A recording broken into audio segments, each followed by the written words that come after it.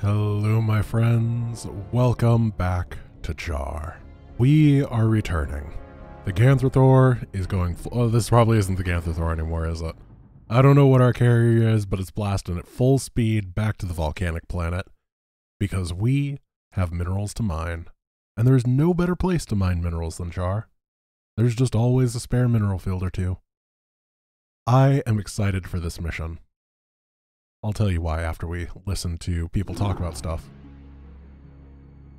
Executor, the Uraj is secured, and the UED has given up the chase. We are currently holding perimeter orbit over the planet Char. Zeratul, have you locked onto the location of the Khalis? Yes. I remember sensing his power the last time I was on this world. However, our sensors indicate a massive, fluctuating energy signature at its location. I am, however, unable to identify the signature's source. That should be obvious, gentlemen. The source is the Overmind itself. When the Cerebrates merged together, they must have locked onto the Khalis energies and nested near it. It's probable that there'll be a number of broods protecting that area. It's risky, but if we can strike hard and fast, we might be able to fight our way through their defenses and escape with the crystal. Comrades, I may have an alternative. Seeing as how the Overmind is still in its infant stages, I wonder if we might be able to disrupt its control over those broods. If we can do enough superficial damage to the creature, it might pacify the Zerg nearest to it, allowing us some time to retrieve the Khalis. A bold plan, young Artanis. Your courage rivals that of mighty Tassadar himself. You give me too much credit, noble Zeratul. I am not worthy enough to even speak his name. Touching. Look, boys, either of these plans will work, but let's not waste any time. I'll be able to exert limited control over a few of the Zerg here and provide you with some backup. But the longer we stay, the more we risk losing both the crystals again. Agreed. Executor, deploy your forces. May Adun be with you. Alrighty, let's do this. We're gonna play a little bit of Zerg Toss. I'm looking forward to it. You know, I said this before, but you play as Protoss Terran, you play as Zerg Protoss. You never play as Terran Zerg. It's almost as if Protoss are the ones with all the friends and everyone else isn't. Just saying, just saying. They're better people. Objectively. Alright, there's a base down here. So I had a thought. I had a really unique thought of compositional stuff. So on this mission, there's going to be a bunch of Zergy Zerg. They're going to be all biological. I want to be able to fight them. And there is a pretty good ability that is just exceptionally strong against any sort of ground biological unit that the Zerg has, Spawn Broodling. So what if I made a bunch of queens? But then I need something that can fight in the air. And the queen is a flyer, so we probably need a little bit of aid in that regard, right? Right? You hearing me? So, if we want to mass queens, then does that mean that the actual correct answer for the unit that we supplement it with is the great and mighty scout? It doesn't have... Uh, we could get some Sares with it, obviously, to help out as well against stuff like Scourge. But I'm thinking that we there might be a legitimate world here where we could make Queen, Scout, Corsair, and it might be good. And the very thought that this might even be slightly acceptable has gotten me so excited that I'm gonna do it. Wait, where's my gas geyser over here? Do I not have one? Alright, well, we're gonna be a little bit gas star, but at least the Zerg has some. Hmm. I'm just gonna... Nope, no gas over here. Alright, well, that does put a little bit of a damper in my plans. I think I'm gonna need Zealots to hold off in the beginning stages. I'm gonna get the Queens first. Reason being is it's a lot easier to tech up a Zerg. They don't need a whole lot of infrastructure. Send these guys over here, get all that going on, and just try to pay attention to the minimap. There's a couple lurkers over here. Is that a lurker? Did they just unburrow?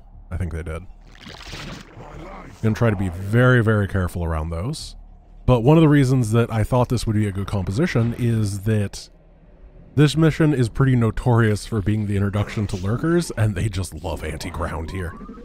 Like, there's a lot of guardians, there's a lot of lurkers as far as I remember. All that kind of stuff, I don't want to deal with it. So let's just ignore it. I think it's genius. Uh, let's get gamete mitosis first. Oh, meiosis. Meiosis, not mitosis. I'm so sorry. It'd be silly if it was mitosis. I took cells, genes, and evolution. I know. I know about all these things. Don't don't laugh at me. High school was a long time ago. You don't even remember the difference. You're going to look it up and then you're going to copy paste the definition into Google and then you're going to be like, oh, well, Grant lost his base. What an idiot. He doesn't know what mitosis is. He doesn't remember it. And he can't keep his economy going because his units are too slow. And you know what? I'm not ashamed of that. A younger, less mature me sure would be. But modern me is used to losing all my bases. Especially against the absurd Zerg in Mass Recall who can kill my bases in about 4 seconds. Plus, really what matters is that gas income, and we're still long distance mining it. Please listen to my excuses. We're probably gonna get attacked from over here now. Good thing I built that one single zealot to help out, right? Like, I was absolutely right that we'd need more zealots to help, and then I built a single one. And I love it that the decibel levels of the Zerg when they hatch are only about 30 to 40 decibels higher than any other thing in this game. It's like, alright, the world might be ending, but we really need you to know right now that a drone hatched. Really important stuff. It's pretty lovely. Alright, Queenie. You come on out. We got that going. We're going to make sunks here once we have the drones. We just didn't have saturation to do so. I'm going to move this guy a little bit over here, and I'm going to try to keep my army halfway between the places. Oh, it's really hard to produce like this. This is why no one else has friends. Having to like tab between Nexi and hatcheries is just a pain in the butt. We're gonna get a couple of cannons over here. And then... Let's keep our gametes going. Not sure what that means, but... Warriors have engaged the enemy. Yeah. Well, looks like those aren't gonna finish. Get over here and help. Oh goodness. Oh no. Ah. They're gonna see everything, and I don't quite have the energy. What is this attack? It's so crazy. The zealots are doing all right. Where's an observer? We gotta bring a new one over here. I just built a large swath of scouts, which is bad. Have Oh, don't kill this. No, no. Ow. Got him. We held the cannons. They did it. And finally the scouts are out. it's okay. Next fight we'll be ready with the broodlings. I promise. It just, it takes a while to get set up. Hmm. Alright, we're gonna build more cannons. uh, do we need another scout hut? I'm not gonna need too many queens. Probably like 15. Is that not too many? And then, how long does it take? 35 for a Corsair, 69 for a scout. Oh! No! Sunken colony. Oh, they just walk right past. You can't do that. I still don't have the resources. Respond Broodling. There, I can use my very first one. Got him. That worked out great. well, I am in trouble. Zerg is quite a race. And I am not quite a fighter.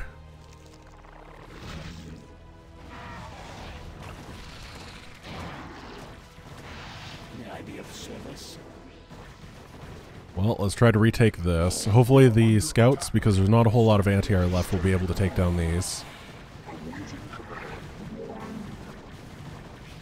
Ugh, Zerglings, man. They're just so obscene. I don't know how to... I can't win without them, and I can't win against them.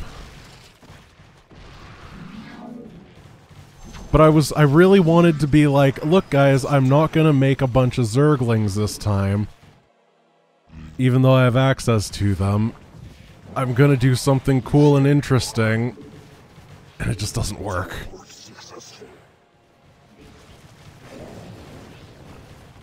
Okay, spawn broodlings really sucks. It takes like half an hour for them to shoot it off. That's good to know. Do I really only have one scout? Two. Alright.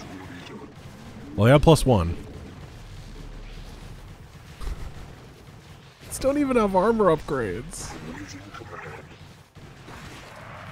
Hmm.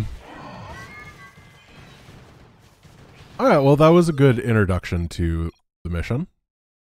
I'm not I'm not gonna do that anymore. I'm just gonna gonna build real units. Turns out uh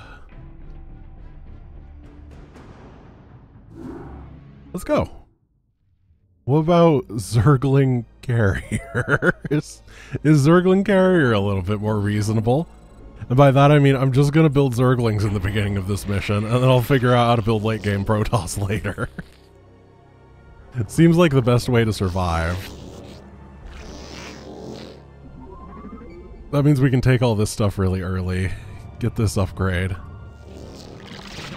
Oh, in this mission, carriers are disabled in hard difficulty. Got it. I actually really appreciate that they put that little note there. That's really cool. Because I would have been very, very disturbed if I had found that out later, as I was trying to make that my late game composition. So I'm going to use majority Zerglings early on to just make sure that I don't die. I'm going to have myself in a pre-placed defensive position so that I can fight. I'll put goons on the high ground defenders over here, and that should be pretty good. And hopefully the knowledge of that first attack in combination with a more ground-focused composition will give me that little advantage I need to get into the mid-game without being dead. Which isn't really great. We don't have to fight the Overmind. I was thinking about fighting the Overmind, but I don't actually know what the defenses are like to get over here either. I know that in the base game you can just kind of walk over there real quick. Oh, they didn't go for the base that time. That's interesting. That's really interesting. And it absolutely has caught me a little off guard. Let's get this guy over here for vision. Well, I didn't lose too much right there. I'm not too unhappy with the way that that went. We got to get the gas income going so that I can get plus two plus two on my Zerglings. And besides that, I'm just going to try to saturate and build a good army. Was the next attack over here? I think it may have been. And that was the one that I built these for. I'm going to leave the army over here. And then the cannons on the left-hand side. And that's going to make sure that I can be protected. The observer will scout if an attack is incoming. And then I can move my army to retaliate. I guess it's not really retaliate, it's just to react. Retaliate would involve, like, going and attacking them back, which I'm definitely not prepared to do. But from what I saw, there was basically no early early game air aggression, right? So, pretty fine on that regard. I don't know what unit I'm going to build to fight the air. Oh, here they come. Was Hmm, maybe that attack didn't exist last time. This might be more dynamic than I thought, which would be very cool. I kind of feel like those were the lings that attacked with the hydras last time. I might be incorrect. It's kind of hard to remember exactly what the attacks were if you're playing because it's a lot more intense. I think that's something that gets forgotten as a viewer a lot that it, the game goes a lot faster when you're the one playing it. Oh, we're getting attacked over here again. Interesting.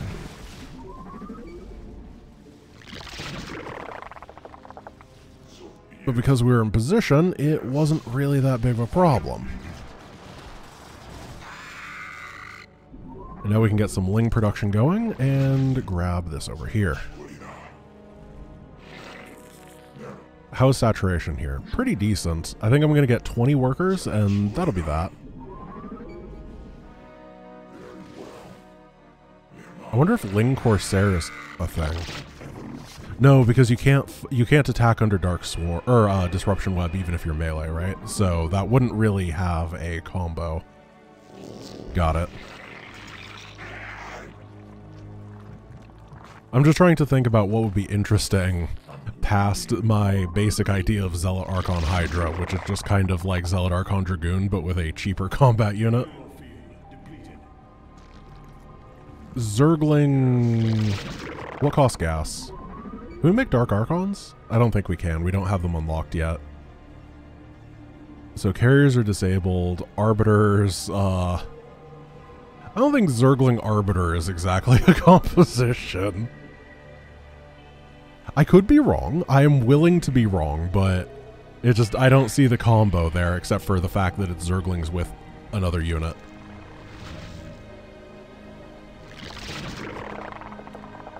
Robo, Robo. We can make Reavers. No, but that doesn't hit air. Am I just playing Zerg because it's better? I might just play Zerg because it's better. you know, Kerrigan's been saying a lot of stuff but not doing a lot of stuff recently. Let's make her pay her keep.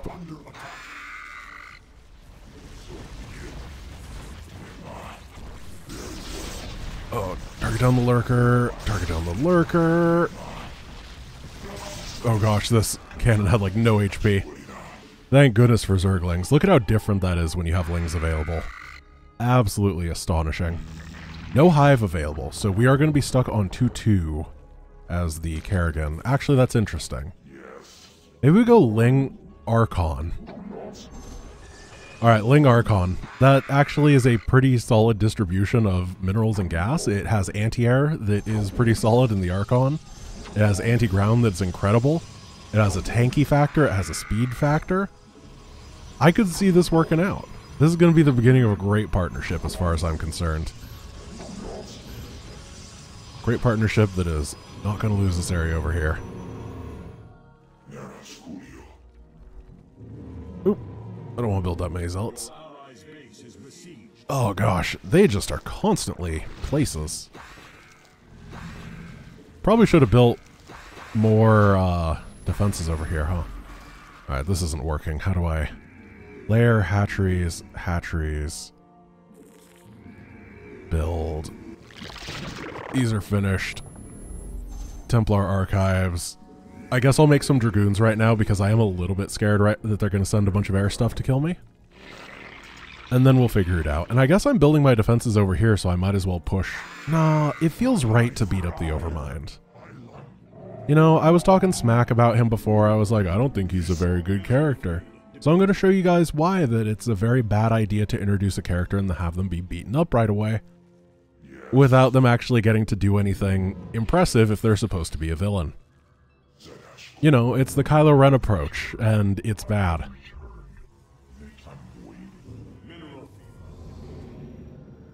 Alright, that is a bunch of Archons on the way. This is 2-2 finishing up without any issues.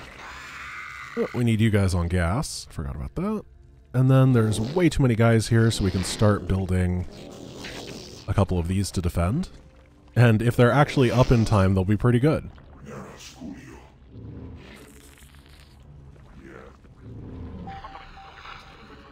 Just doing a little bit of scouty scout here. There seems to be a lot of detection on this map, so I don't want to go too crazy with my movement. Oh, I'm supply blocked. That is one thing that's fairly difficult to manage when you have double supplies going on is what to build where. And it's definitely one of the reasons Zerg is very nice because you don't need as many overlords.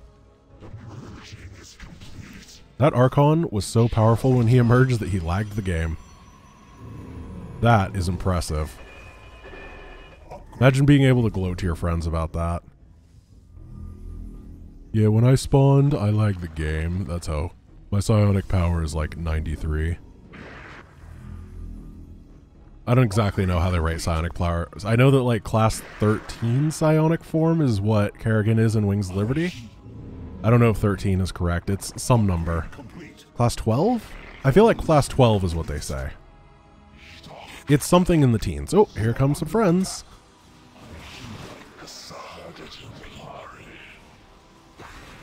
Got a couple mutas, but it doesn't matter. Because I remembered my anti-air. Because in this campaign, I hail from Antioch. I don't think Artanis does, but it's the only province that I know in StarCraft.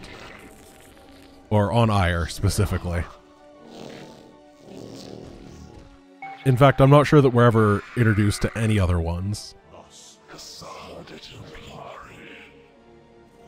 Alright, let's go. This seems like an army. Oh yeah, I forgot about... Where's my observer? Oh, it's so slow. Oh my god. Seriously? Where's my observer? Oh, it's...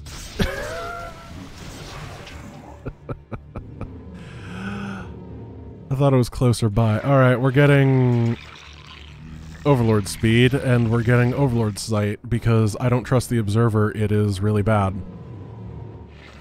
Luckily, I have a million dollars. I can't really attack again, can I?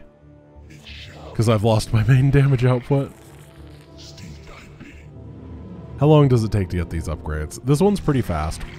Alright, it's to be a couple minutes. Uh, I'm not sure I can wait. Let's just go. I figure the Observer's here now. I'll just babysit it. Everything else is pretty A move, so the babysitting shouldn't be that hard. Oh, that's a spore? I thought that was a creep colony. Oh, come on.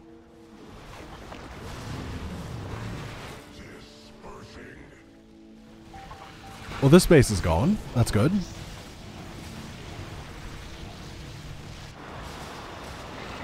Alright. So is mine. Base for a base is not a good trade for the player most of the time. We're going to head back home. And then we might be able to clean this up with the Zerglings. No, not quite.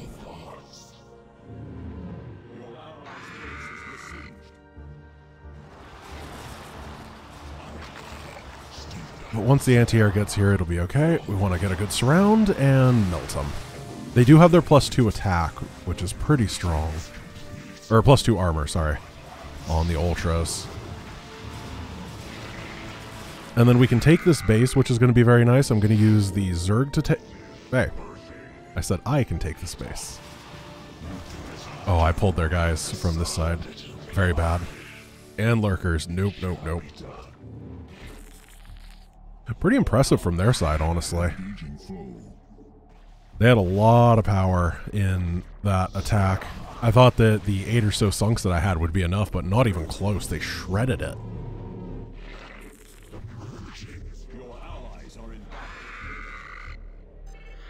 Let's get the guys over here.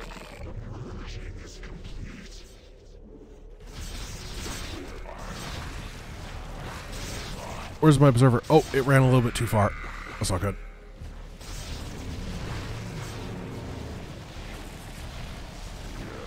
And then we go boop. Go one over here, build a hatch. And then we're going to build another hatch for safety's sake, and because that's just a really big area. Then I think we need to build another hatch.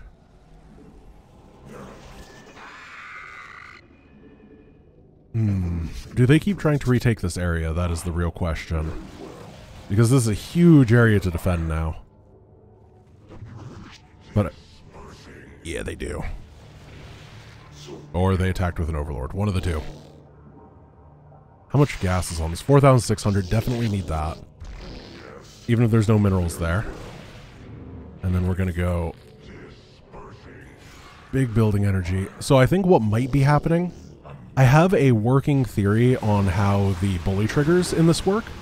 And I think that all the attack triggers are set when the unit starts production. So what's happening is that if you clear out a base, they will continue fighting for it for a bit because it's just whatever units were lost during the fight are replaced by the Zerg. And then they use that in order, or so it's just kind of a trickle of stuff for a bit. That seems to be my observation on how it works. This is actually a really good army. I might just go, see what happens. I'm dropping economy behind this, so it should be alright to lose some stuff. Oh. Or they got lurkers.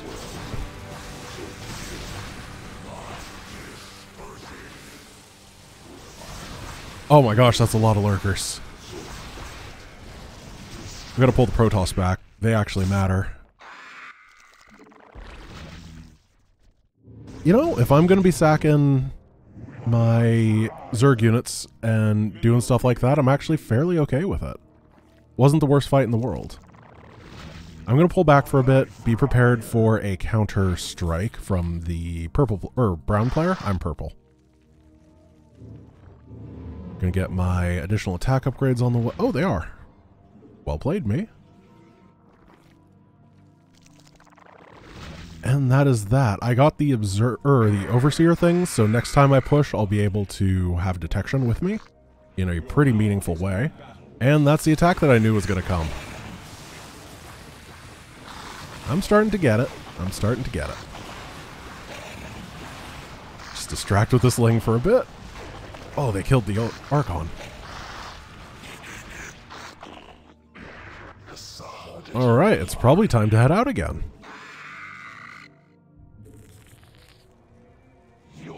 How are we doing saturation wise here? Pretty good considering these are starting to run out, so I'm going to have to send the drones over. We probably want to get one guy over here to finish off this mineral field. And that should be good. There's the guy that didn't help during that attack.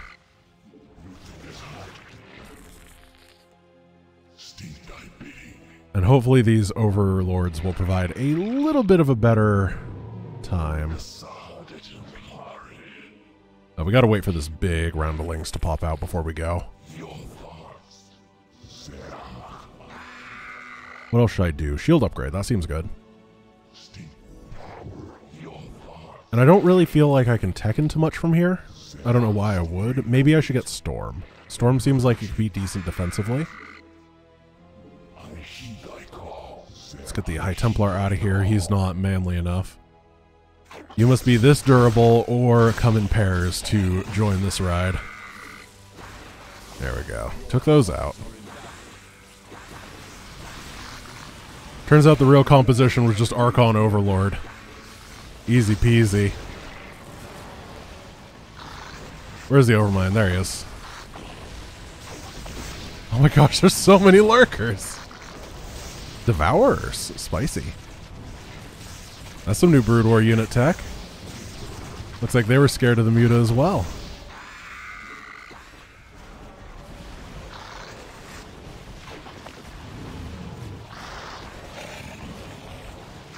Do we have the DPS to take this out? We might.